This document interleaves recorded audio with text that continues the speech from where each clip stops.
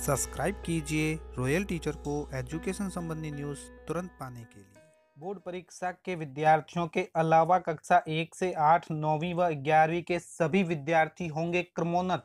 आदेश हुआ जारी, जाने इस प्रकार करने हैं आपको क्रमोन्नत। सभी कक्षाओं को अलग अलग जारी होंगे प्रमाण पत्र जी हाँ साथियों, इस वक्त की सबसे बड़ी खबर आ रही है कि कोरोना वायरस के चलते, इस महामारी के चलते अब विद्यालयों में परीक्षा आयोजन नहीं होगा। सिर्फ़ दसवीं और बारहवीं कक्षा के ही परीक्षाएँ ली जाएगी, बाकी सभी कक्षाओं की परीक्षाएँ नहीं ली जाएगी। किसी भी विद्यार्थी को विद्यालय में बुलाकर उसकी परीक्षा नहीं ली जाएगी, चाहे वो सरकारी विद्यालय में पढ़ रहा है या प्राइवेट विद्यालय में पढ़ रहा है। इसके संबंध में शिक्षा विभाग ने आदेश भी जारी कर दिए हैं। साथ ही उन्होंने बता भी दिया है कि क्रमोन्नति का क्या नियम जो इस सत्र 2019-20 में लागू होंगे, यानी वर्तमान सत्र के तहत ही वो लागू होंगे, बाकी वो लागू नहीं होंगे।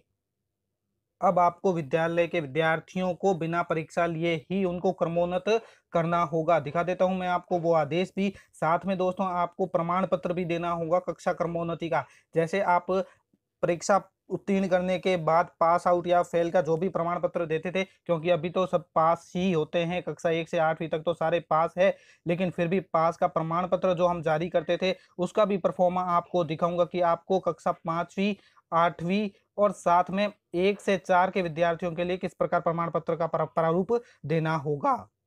देखिए दोस्तों, ये है वो आदेश जो प्रारंभिक शिक्षा पंचायती राज विभाग राजस्थान बीकानेर की ओर से जारी हुआ है, जिसमें लिखा गया है कि कोरोना संक्रमण से बचाव के लिए राज्य में लॉकडाउन के चलते समस्त प्रकार के राजकीय मान्यता प्राप्त निजी विद्यालय वर्तमान समय में बंद है। विद्यालयों में आवागमन, नियमित कक्षा शिक्षण परीक्षा एवं मूल्यांकन संबंधी समस्त कार्य स्थगित है। ऐसे में माननीय मुख्यमंत्री राजस्थान सरकार द्वारा लिए गए निर्णय एवं जारी निर्देशों की पालना में कक्षा एक से आठ, यहाँ ध्यान से सुनिए, कक्षा एक से आठ के समस्त छात्र छात्राओं को आगामी उच्च कक्षा में क्रमोन्नत करने का निर्णय लिया गया है। दोस्तों, प्रारंभिक शिक्षा का विभाग है, राजस्थान पंचायती राज जो विभाग विभाग बीकानेर है और माध्यमिक शिक्षा का विभाग है, उन दोनों द्वारा अलग अलग आदेश जारी किया गया है। दोनों आदेश में आपको दिखाऊँगा, कक्षा नौवीं व ग्यारहवीं के लिए भी अलग सा आदेश जारी हुआ है।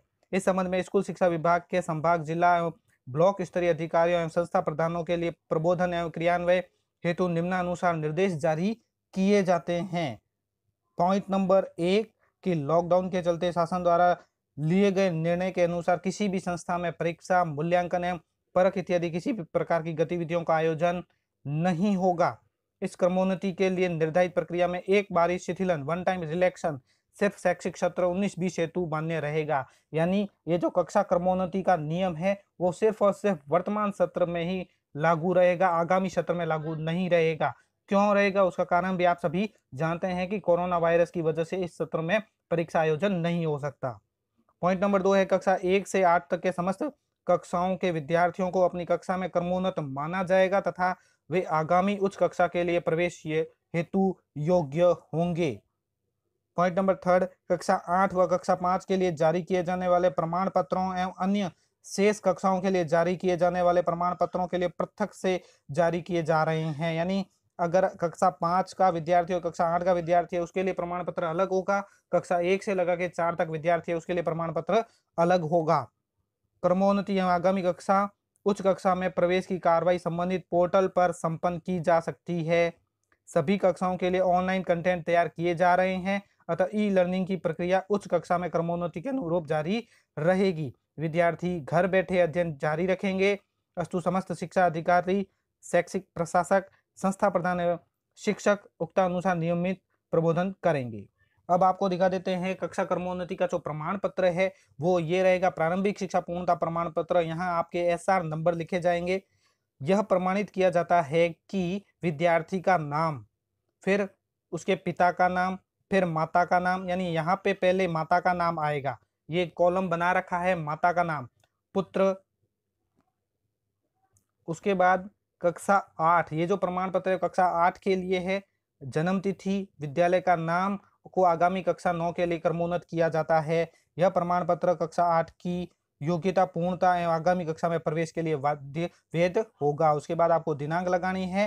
हस्ताक्षर संस्था प्रदान में मोहर लगा के उन विद्यार्थियों को देनी है। ये तो कक्षा आठ का परफॉर्मा बताया गया। अब ऐसी प्रकार आपको कक्षा पाँच के लिए भी प्रमाण पत्र जारी करना होगा। ये देखिए, यहाँ लिखा है कक्षा पाँच, फिर आप वही आपको पूरा भरना है, नीचे सील साइन लगा के देना है। बात आती है कक्षा एक से चार के लिए तो ये परफॉर्मा कक्षा एक से चार के लिए अलग है। यहाँ आपको ऊपर कक्षा दर्शानी होगी। कक्षा एक, दो, तीन, चार, जो भी है वो दर्शानी होगी। इसके बाद वही वापस भरना है। नाम, पिता का नाम, माता का नाम जन्म तिथि विद्यालय का नाम, आगामी कक्षा, जो भी है, क्रमोन्नत की। यह प्रमाण पत्र कक्षा की योग्यता आगामी कक्षा में प्रवेश के लिए वैध होगा। वही शील साइन लगाने हैं। अब साथियों, बात कर लेते हैं कक्षा नौवीं व ग्यारहवीं के जो विद्यार्थी है उन्हें कक्षा क्रमोन्नति का जो नियम है, वो किस आधार पर नियम होगा? इसके लिए भी दोस्तों माध्यमिक शिक्षा ने अलग से निर्देश जारी किए हैं, क्योंकि इसमें अलग निर्देश जारी करने का भी मुख्य कारण रहता है, क्योंकि कक्षा एक से पाँच के लिए और छः से आठ के लिए और नौवीं और ग्यारहवीं के लिए। यानी कक्षा एक से पाँच के लिए तो हम सिर्फ़ और सिर्फ़ परख लेते हैं, जिसे हम ऐसे बोलते हैं। ऐसे वन, टू और थर्ड। वहीं कक्षा छः से लगा के आठ और नौवीं, ग्यारहवीं में हम प्रथम परख, द्वितीय परख, तृतीय परख, अर्धवार्षिक परीक्षा भी लेते हैं। तो उनका मूल्यांकन समग्र रूप से करके दिया जाएगा प्रमाण पत्र ये देखी जाती है, ये है वो माध्यमिक शिक्षा का आदेश, जो कक्षा नौवीं व ग्यारहवीं के लिए लागू रहेगा, जो कक्षा दस में और बारह में क्रमोन्नत किए जाने हैं, जो भी अध्ययनरत विद्यार्थी है उन सभी को। यहाँ आप एक बार देख लीजिए निर्देश कि सत्र 2019-20 में कक्षा 9 व 11 में नियमित अध्ययनरत विद्यार्थियों को उनके समग्र मूल्यांकन के आधार पर आगामी कक्षा में क्रमोन्नत किया जाना है। इस हेतु संस्था प्रधान द्वारा सत्र उन्नीस बीस में विद्यार्थी के अब तक के समग्र मूल्यांकन, यानी तीन परख, प्रथम परख, द्वितीय परख, तृतीय परख, अर्धवार्षिक परीक्षा सह शैक्षिक गतिविधियों में भागीदारी तथा सत्र में विद्यार्थी के समग्र प्रदर्शन को आधार बनाया जाएगा। अब इसमें एक उदाहरण भी दिया गया है, मैं आपको बता देता हूँ कि कैसे आप इसको भरोगे। ये एक सारणी है, जिसमें क्रम संख्या आपको देनी है, एक, दो, तीन, चार, और उसके बाद विषय देने हैं। प्रत्येक विषय हेतु निर्धारित पूर्णांक कितने हैं वो आपको यहाँ दर्शाने हैं। उसके बाद अर्धवार्षिक परीक्षा के बारह अंक कितने होते हैं तीनों परख के कितने होते हैं और सह शैक्षिक गतिविधियाँ एवं सत्र में विद्यार्थी के समग्र प्रदर्शन हेतु बारह प्रतिशत फिर उनकी जोड़। अब वो भी कर, करनी कैसे है वो भी एक उदाहरण के द्वारा आप समझिए। जैसे किसी विद्यार्थी के हिंदी में अर्धवार्षिक पूर्णांक सत्तर में से तीस प्राप्तांक है तो यहाँ हमने देखिए पूर्णांक तो पहले तो निर्धारित विषय में पूर्णांक सौ के सौ आएँगे, उसके बाद अर्धवार्षिक परीक्षा में उसके सत्तर में से तीस आए हैं। ठीक है, पूर्णांक सत्तर में से तीस प्राप्तांक है तो यहाँ पे तीस इंटू पचास भाग सत्तर करेंगे तो राउंड फिकर में है तो राउंड फिकर में आप दर्शा देंगे। उसके बाद अलग आता है तीनों प्रखों का बारांक तीन प्रखों में तीस में से पंद्रह आए हैं तो जितने आए हैं, पंद्रह इंटू बीस बटे तीस।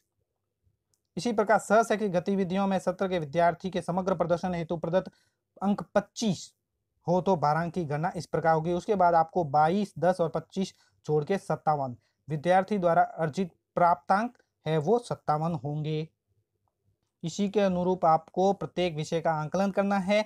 साथ ही नौवीं और ग्यारहवीं के सभी विद्यार्थियों को ग्यारहवीं और बारहवीं के दसवीं और नौवीं और दस, ग्यारहवीं के विद्यार्थियों को दसवीं और बारहवीं में क्रमोन्नत माना जाएगा। इसके बाद दोस्तों, इसको एक प्रमाण पत्र भी जारी करना है, वो इस प्रकार का रहेगा, जिसमें विद्यालय का पूरा नाम आएगा।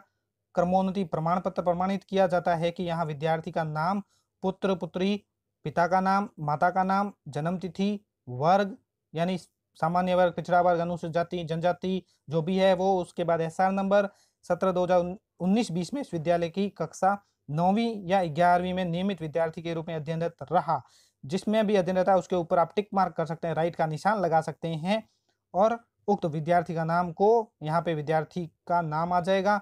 निदेशक माध्यमिक शिक्षा राजस्थान बीकानेर के आदेश क्रमांक दिनांक में कक्षा क्रमोन्नत किया जाता है। कक्षा में जो भी क्रमोन्नत है, नौवीं का विद्यार्थी है तो दसवीं के ऊपर आप राइट मार्क लगाएँ और साथ ही ग्यारहवीं का बच्चा है तो बारह नंबर के ऊपर राइट मार्क लगाएँ। यहाँ पे आप संस्था प्रधान के हस्ताक्षर में मोहर यू डाइस कोड डाल दीजिए, दिनांक डाल दीजिए तो ये कक्षा कर्मोन्नति का प्रमाण पत्र हो जाएगा। उसके बाद आप ध्यान में ये रखें बात कि यहाँ पॉइंट नंबर पाँच दिया गया कक्षा नौ व ग्यारह में कर्मोन्नत, समस्त विद्यार्थी स्वतः ही आगामी कक्षा में प्रवेशित माने जाएँगे। इन विद्यार्थियों के कक्षा कर्मोन्नति का कार्य ऑनलाइन शाला दर्पण पोर्टल के माध्यम से सुनिश्चित किया जाए। इन कर्मोन्नत विद्यार्थियों द्वारा smile and social media interface of learning engagement कार्यक्रम के माध्यम से आगामी कक्षा की अध्ययनत सामग्री उपलब्ध करवाते हुए ऑनलाइन अध्ययन कराया जाएगा। उक्त शिथिलन प्रमाण पत्र केवल 19-20 में ही लागू होंगे। तो साथियों, ये था महत्वपूर्ण निर्देश जो कक्षा कर्मोन्नति से संबंधित था। मैंने आपको दिखाया। धन्यवाद साथियों। वीडियो को ज़रूर लाइक, शेयर और सब्सक्राइब कीजिए। पास में आने वाले घंटी के बटन को ज़रूर दबाएँ। एजुकेशन संबंधी न्यूज़ तुरंत पाने के